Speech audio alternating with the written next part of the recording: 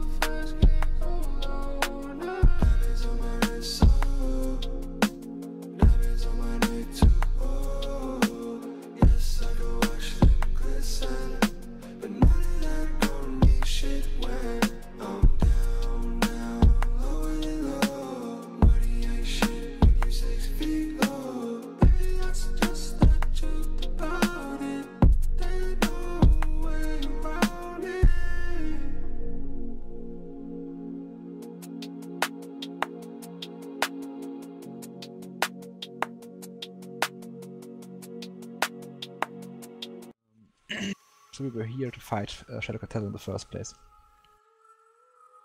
Sadly, Snuffed Out decided to uh, join uninvited to the party, and since everybody knows it hates Snuffbox, everybody teamed up basically to fight Snuffbox, but Snuffbox then decided to run away.